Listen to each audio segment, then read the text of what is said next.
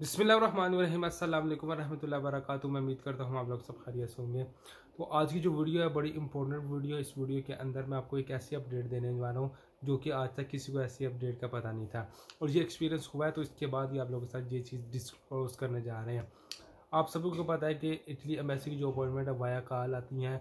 और बहुत ज़्यादा प्रॉब्लम होती है आपको कॉल कनेक्ट होने में। और फाइनली जब आपकी कॉल कनेक्ट हो जाती है, फिर आप अल्लाह का शुक्र अदा करते हो, फिर अपॉइंटमेंट आ जाती है।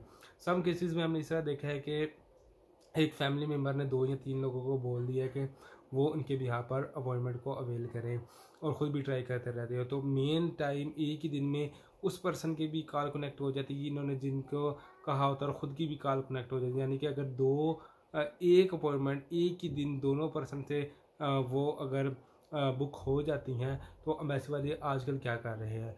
लास्ट वीक हमारे एक सब्सक्राइबर थे, उन्होंने हमारे साथ एक चीज़ शेयर की कि उनकी कॉल एक ही दिन में दो दफ़ा मिल गई। यानी कि फॉर एग्जांपल एक उसने कॉल की और एक उनके हस्बैंड ने कॉल की और उन्होंने अपना डाटा वगैरह लिखवा दिया और उन्हें अभी तक अपॉइंटमेंट लेटर नहीं आया। मीन पूरा वीक गुजरने के बाद आज आपको पता है मंडे और मंडे में बेशुमार जो है पूरे वीक की जो अपॉइंटमेंट्स आई हैं लेकिन वो अपॉइंटमेंट्स नहीं आई। तो एक और उन्होंने कॉल कनेक्ट की और अम्बेसी से कहा कि, यार लास्ट वीक में हमने आपको कॉल की थी, इस तरह इस तरह का डाटा हमने आपके साथ शेयर किया था तो आपने अभी तक हमें अपॉइंटमेंट नहीं आया।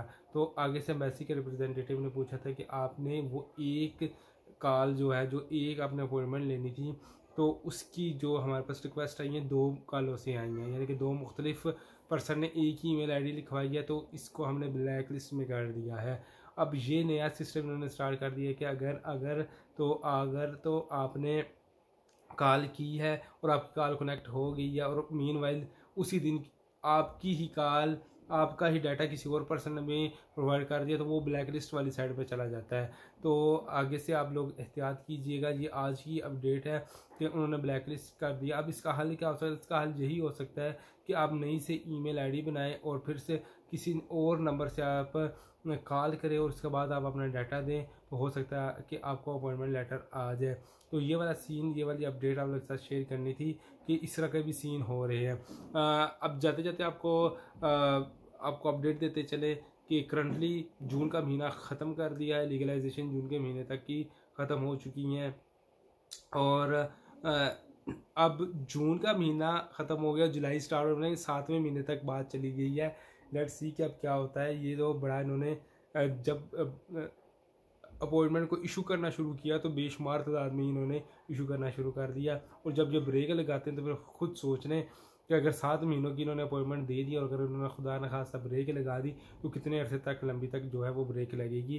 तो ये छोटी मोटी अपडेट्स आपको इसलिए देते हैं ताकि आपको अवेयरनेस हो और आपको पता चल सके कि करंटली क्या सिचुएशन चल रही है। होपफुली वीडियो वैल्यूबल रही होगी। नेक्स्ट वीडियो तक लिए अपना ख्याल रखिएगा चैनल को प्यार दिखाएगा अपने डॉक्यूमेंट्स की चेकिंग फ़ाइल प्रिपरेशन ट्रांसलेशन और मुफसर रिलेटेड असिस्टेंट अपॉइंटमेंट से रिलेटेड असिस्टेंट से के लिए आप हमसे कॉन्टैक्ट कर सकते हैं। डिस्क्रिप्शन में आपको नंबर शो हो रहा होगा।